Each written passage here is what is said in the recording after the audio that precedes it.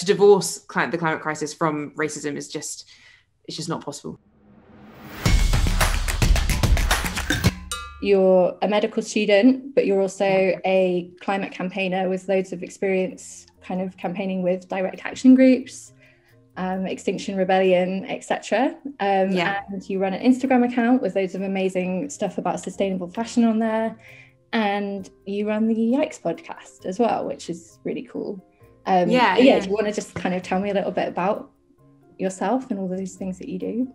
Yeah, sure. So um, I co-host a podcast called the Yikes Podcast, which is all about the things in the world that can make us yikes. So things that can be really overwhelming and that we want to yeah. run away from. Um, but instead, we want to encourage people to lean into that kind of discomfort and that yikes feeling and mm. instead move towards action. Um, yeah. So, we talk about things from refugee rights to climate justice, well, everything's from a climate justice lens um, and an anti racist lens, an intersectional lens. Mm. We just mm. talk about some topical things that are going on, but also some kind of like wider structural issues and try and encourage people to get involved in organizing because we think mm. that activism and organizing is what causes change. The other thing you kind of talk about quite a lot and that has been really prescient in the last year is the connection between racial inequality and the climate movement and the importance of like fighting climate change and why those two things are connected kind of globally. And um, I was wondering if you could kind of explain the connection a little bit there. The climate crisis itself as an issue um, is a product of all the systems that exist in this world. So all the systems that have created the world as it is today, um, if we think about colonialism, that's something that's had played a huge role in the world yeah. that we see today. Um, and colonialism was based on this idea of superiority of of white people over people of color.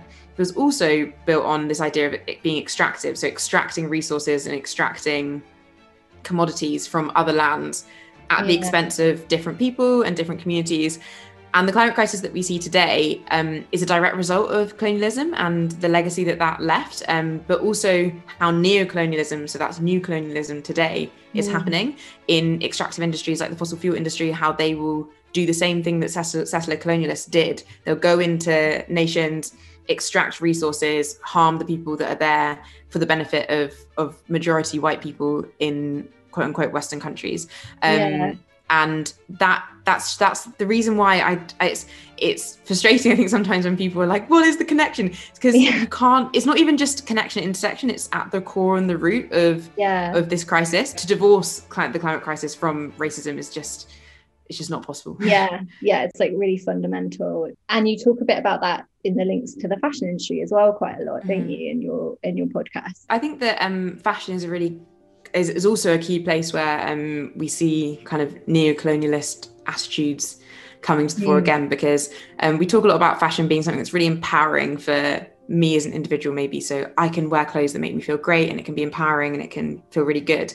But if it's just me that's being empowered as someone who's wearing the clothes but the person who made those clothes aren't empowered then is that true empowerment? If the person who made the clothes was was harmed in the process if they were discriminated against if they weren't paid a living wage if they were put in harm's way then can that really be true empowerment? And I think that fashion is a really good way in which we can make the connection between how we live and how the rest of the world lives and how we should be a global community and instead we shouldn't um, ignore supply chains and ignore how people who make our make the things that give us joy in this world and um, how mm. they are also treated um, yeah. and ways that um, we can do that is definitely campaigning um, and putting pressure on these fast fashion companies and any company that makes clothes or anything actually constantly asking the question demanding transparency and demanding accountability is what will kind of drive change and we'll see a bit of a change there. Yeah, I guess on that note, if if you are kind of a 15 year old or 16 year old who's interested in climate change activism in particular, is there anything you'd kind of recommend they do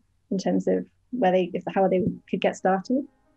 Um, yeah, I would I'd really just say join a group, and I really want people to know that um, whoever you are, you have like skills that are needed for movement. Um, I kind of think of it as like if you're running an event, you need a lot of people. I use this analogy a lot, but if you're running an event, you need a lot of different people. You don't just need people who are going to do the emceeing and and be on the microphone and giving um, speeches or organizing things. You also need people who are going to have the time to put up posters or even print posters or design posters or just be there for emotional support for people who are stressed out or there yeah. are loads of different roles and um, anyone who's listening, watching this, um, you will have a skill that's in, that's important and that is essential for movements. And um, please just join because we need as many people as possible.